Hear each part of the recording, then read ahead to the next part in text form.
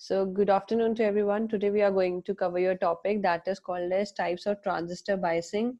As I tell you, biasing means the arrangement of your circuit. जिस तरह से आप अपने circuit को arrange कर रहे हो ठीक है एक्सटर्नल बाइसिंग आप अरेंज कर रहे हो कोई एक्सटर्नल वोल्टेज सप्लाई अपने सर्किट को दे रहे हो किस तरह से आप अरेंज कर रहे हो पूरे सर्किट को सर्किट हम कौन सा ले रहे हैं आपका ट्रांजिस्टर सर्किट अब ट्रांजिस्टर मैंने आपको बताया there are two types of transistor NP और एन पी एन पी ठीक है? आप उनमें से किसी भी ट्रांजिस्टर सर्किट को ले सकते हो और उनकी हम स्पेसिफिक बाइसिंग करके कुछ कन्फिगेशन स्टडी करेंगे, ठीक है?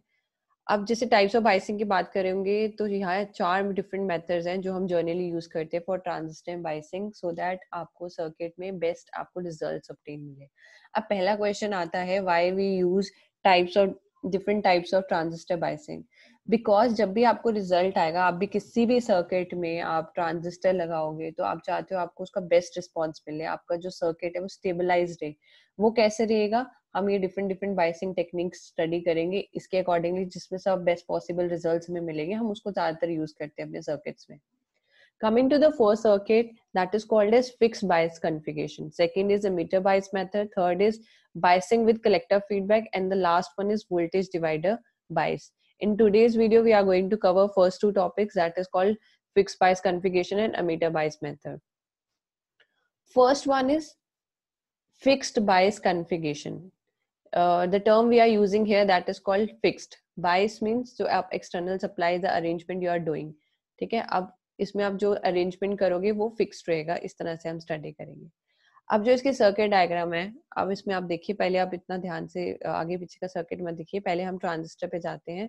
हम देखते हैं, हमने ट्रांजिस्टर ये लगाया हुआ है। ट्रांजिस्टर कौन सा लगाया? हमने ये होता है आपका एनपीएन ट्रांजिस्टर क्यों? एरो की डायरेक्शन ये है तो we are using NPN transistor अब now you can see we are using two resistors एक हमने कहा लगा दिया? आपकी बेस सर्किट में, ठीक है?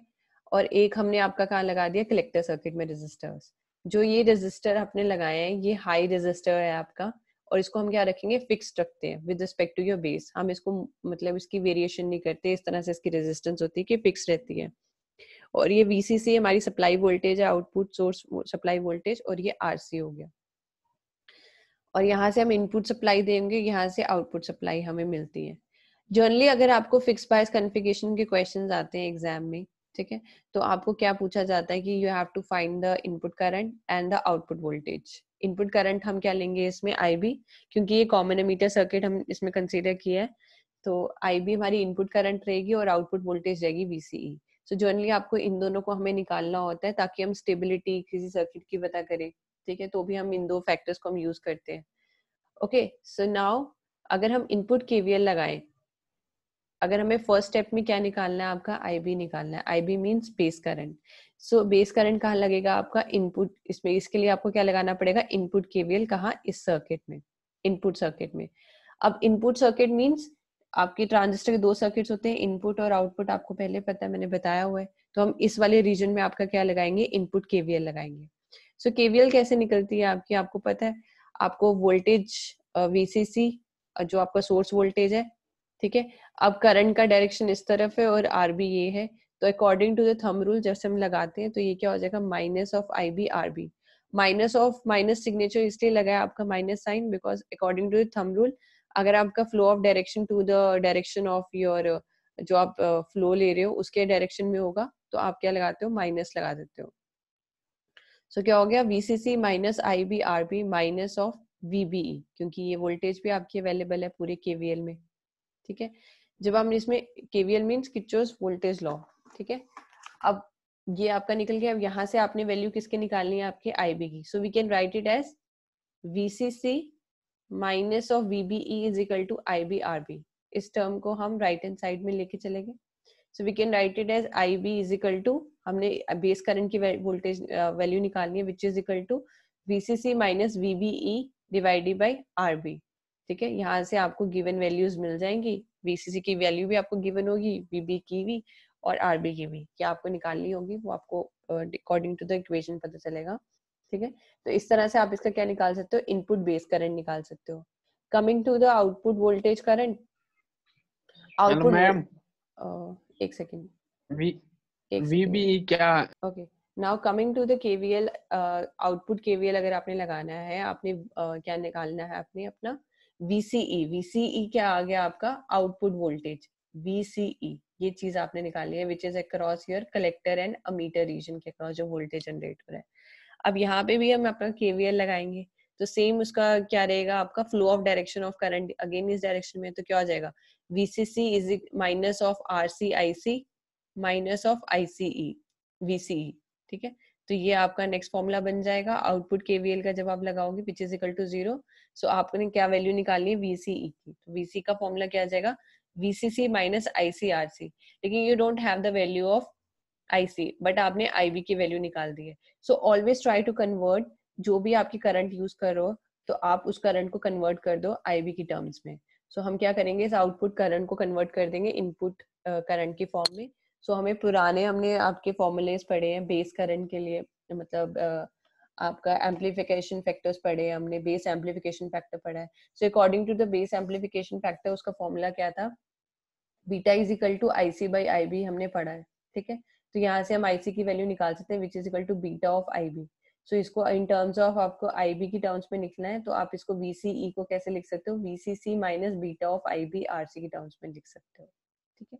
This is your this is how you can find the input current and V C E for fixed bias configuration लेकिन uh, ये जो सर्किट है इसको हम यूज़ करते हैं सर्किट्स में लेकिन स्टिल इसमें इतनी एक्यूरेसी आपको नहीं मिलती है।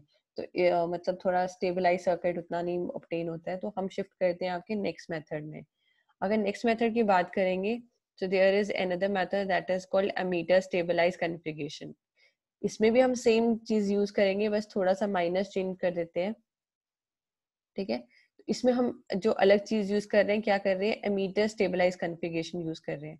एमीटर स्टेबलाइज में क्या करेंगे? जो एमीटर एंड है, वहाँ पे एक और रजिस्टर हम अटैच कर देते हैं which obviously increase the cost of your circuit थोड़ा सा आपका कॉस्ट बढ़ जाएगा क्योंकि आपके जो जर्नलाइज सर्किट हम यूज़ करते हैं, उसमें एक नहीं, बहुत सारे ट्रांजिस्टर्स लगे होते हैं। और अगर एक भी छोटी सी आप उसमें एडवांसमेंट या एक्स्ट्रा आप चीज़ लगाते हो तो ऑब्वियसली कॉस्ट थोड़ी सी बढ़ जाती है आपके सर्किट की। तो इस, उसी तरह से हमने इसमें अटैच क्या, कर दिया। हमेशा याद रखना एमीटर एंड में अगर हम इमीटर स्टेबलाइज कन्फिगेशन की बात करेंगे, बाकी the circuit will remain same जिस इसमें क्या करेंगे आर ही हम एक्स्ट्रा अटैच कर देंगे सीरीज़ में, कहाँ पे? एमीटर एंड में, किसके?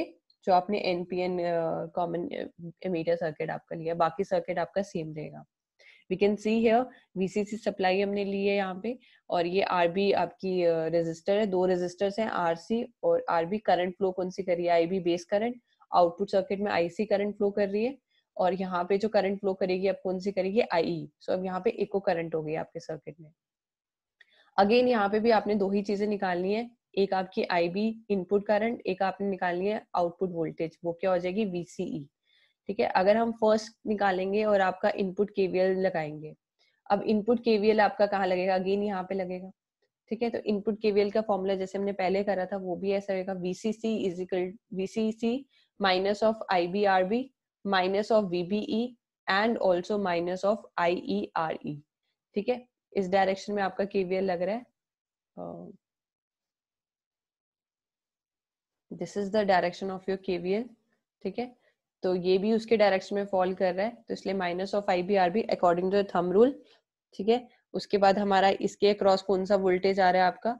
वीबीई वी बीई तो हमने वो लिख लिया आपका नेक्स्ट वीबीई और ये एक और वोल्टेज यहाँ पे ड्रॉप आपको मिलेगा, वो क्या मिलेगा? आई ई आर ई वो भी आपके फ्लो ऑफ़ डायरेक्शन के थ्रू में है, ठीक है? तो उसको भी हम कंसीडर करेंगे